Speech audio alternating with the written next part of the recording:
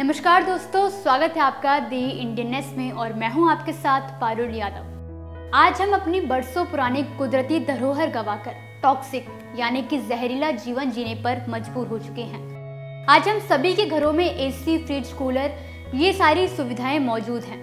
लेकिन इन सबको पाने के लिए हमने अपने घर के आँगन में लगे, पीपल और नीम के पेड़ खेत, खलिहान और जंगल गवा दिए हैं। और ये सबका ही नतीजा है कि आज हम सभी लोग इन्वायरमेंट पोल्यूशन और ग्लोबल वार्मिंग जैसी भयानक मुसीबतों से घिर चुके हैं। जहाँ दिन भर की भागदौड़ में हमारे पास एक गमले में पानी डालने तक का समय नहीं होता, वहीं हमारे ही देश में ऐसे भी लोग मौजूद हैं जो चुपचाप प्रकृति को बचाने में जुटे हुए हैं। और आज 5 जून यानी कि वर्ल्ड इन्वायरमेंट डे के खास मौके पर हम आपको एक ऐसी ही डाउन टू अर्थ महिला से मिलाने जा रहे हैं।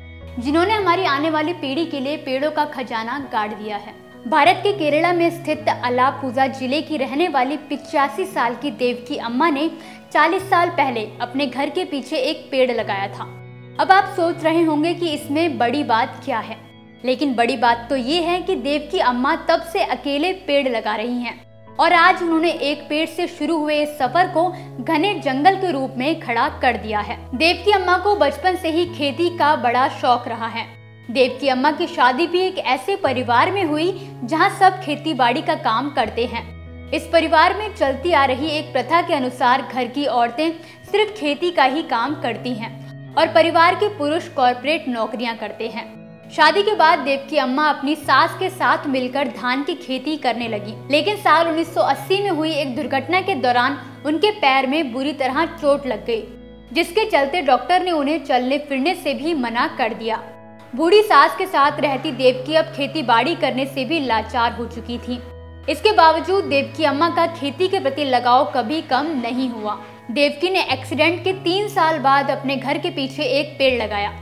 जिससे उन्हें बहुत खुशी मिली। इसके बाद तो देव की अम्मा ने धड़ाधड़ एक के बाद एक पेड़ लगाना शुरू कर दिया। और देखते ही देखते अलापूजा गाँव की पाँच एकड़ ज़मीन पर महल की तरह एक हरा भरा जंगल खड़ा हो गया। आपको बता दें कि देव की अम्मा को पेड़ लगाने की प्रेरणा उनके जीवन साथी गोपाल कृष्ण पिल्लई से मिली, जो कि इंग्लिश के टीचर थे और पर्यावरण की रक्षा के लिए खुद भी देव की अम्मा के साथ पेड़ लगाया करते थे। जब भी देवकी के पति घर आते तो वो कोई ना कोई पेड़ का बीज ज़रूर लाया करते थे।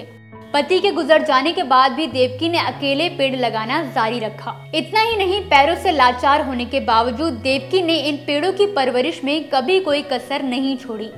पेड़ों को माँ जैसा प्यार देने वाली देवकी के सफ़र में उनकी चार पीढ़ियों ने भी अपना पूरा योगदान दिया। उनके बच्चे और रिश्तेदार उन्हें तोहफे के रूप में पौधे दिया करते हैं।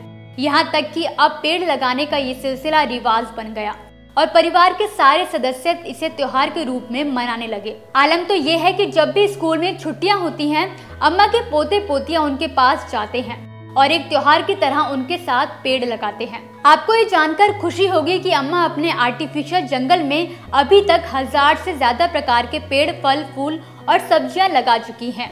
इतना ही नहीं, उनके जंगल में विदेशी जड़ी बूटियाँ भी पाई जाती हैं। जहाँ शहर की भीड़ में जानवर और पक्षी जहरीली हवा में सांस लेने को मजबूर हैं।